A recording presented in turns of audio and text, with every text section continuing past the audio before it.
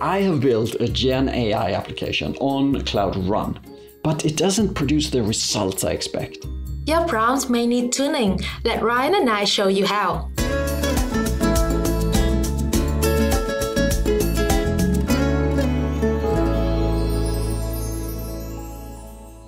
It's so good to have you back on serverless expeditions again, Lan and Ryan. We are happy to be here, Martin. What uh, Google team are you guys on? We are customer solutions engineers based in Google's Singapore office.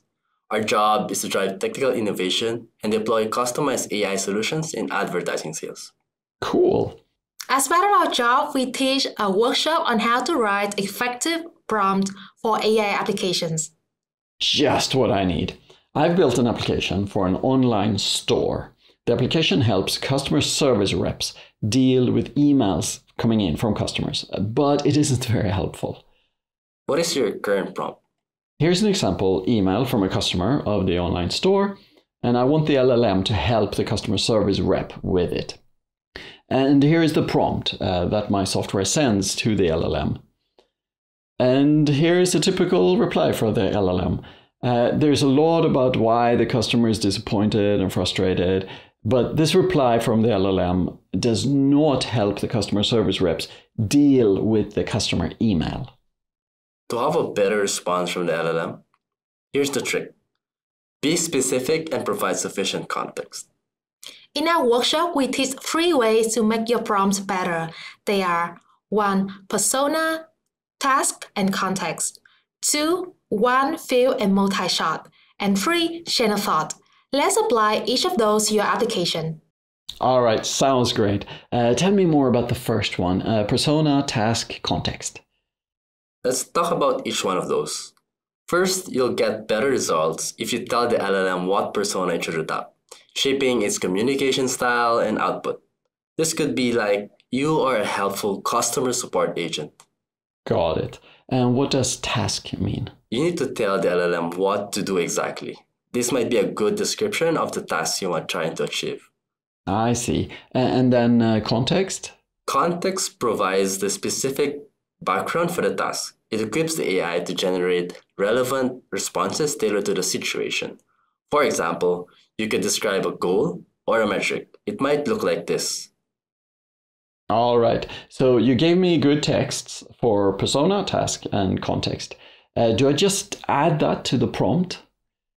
If you're going to use them over and over again, you can add them to a system prompt.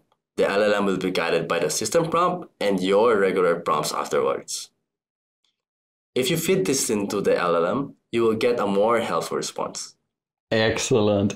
That is a better result. Next on your list was one few multi-shot. Yeah, shot here means examples. If you need the LLM to generate response in a certain structure, you would need to give examples to guide the LLM.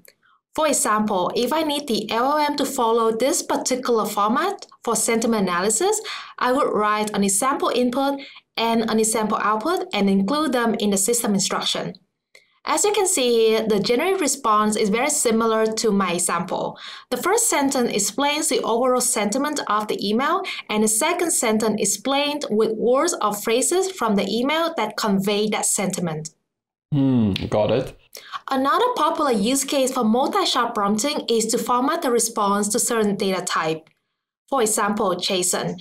This format can make it easier for people to understand. It can also make it easier for other applications to process the response.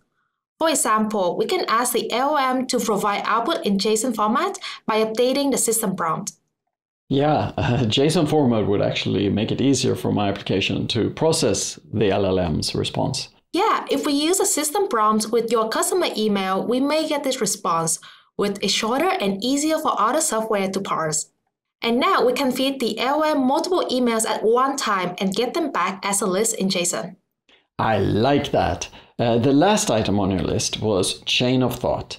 I've heard that term before, but I don't know what it means. Typically, when you're training a new coworker in a task, it often helps to divide the work into steps. LLMs can also use the same kind of support to improve their accuracy. And what might that look like in my application? Here's one way of doing it. You tell the LLM to think about the customer's core request, their tone, and how to show empathy with them when responding. After getting a better understanding of the customer, let the LLM decide on the most helpful action to take and what tone to adapt. Finally, if you're telling the LLM to check for clarity in its response. And those chain of thought instructions would be added to the system prompt? That's right. If we do that and feed the customer email to the LLM, we get this back. The LLM formatted its reply as a JSON and it proposed a response email. I like how it proposes a response email. My application could show that to the customer service representative so they could edit it and send it back to the customer. And my application could also let the customer service rep view the reasoning if needed. Uh, this would really help them do a better job and faster. When I work with cloud customers, I often see them using AI to help their employees. An LLM can be a powerful tool if it's integrated with an employee's regular applications and processes. I agree. Computers and people can accomplish a lot if they work together. All right, let's recap. How do I create a better prompt? First, apply persona, task, and context to your prompt. Tell the LLM what persona it should adopt, then tell the LLM what to do. This is task. And then give LLM the context, for example, by describing a goal or a metric. Next is one, few, and multi-shot. Often we want a specific format to the response. For example, we can ask the LLM to provide output in JSON format.